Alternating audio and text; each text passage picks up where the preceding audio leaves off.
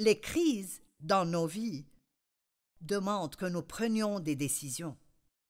Vous arrivez à un point où vous allez soit vaincre ou être vaincu. Vous allez avancer ou vous allez reculer.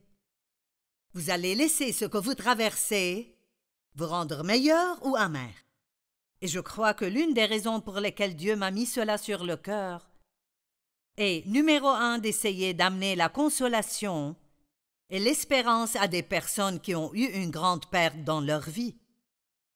Mais une autre raison est de vous implorer à prendre une bonne décision maintenant.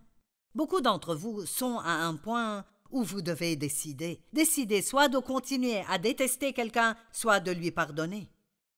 Soit d'être amer envers Dieu parce que la vie n'est pas arrivée comme vous pensiez qu'elle arriverait, ou vous continuerez dans la foi en croyant que Dieu est un bon Dieu, et même si vous ne comprenez pas le pourquoi des choses, vous croyez que Dieu prendra cela et il en sortira quelque chose de bien.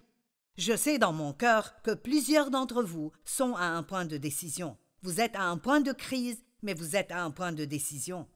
Et si vous prenez la bonne décision et vous décidez pour Dieu et pour les façons de Dieu, il fera quelque chose de si merveilleux dans votre vie que vous serez en admiration la bouche bée. Je parlais à mon mari ce matin et nous parlions juste un peu de l'état dans lequel nous étions il y a quarante-cinq ans. Je veux dire, oh mon Dieu, nous avions tellement de grands problèmes dans nos vies. Et voilà où nous sommes maintenant. Et Dieu nous disait, si vous me faites confiance un jour, si vous continuez à croire, un jour viendra. Eh bien, maintenant je vis dans ce un jour.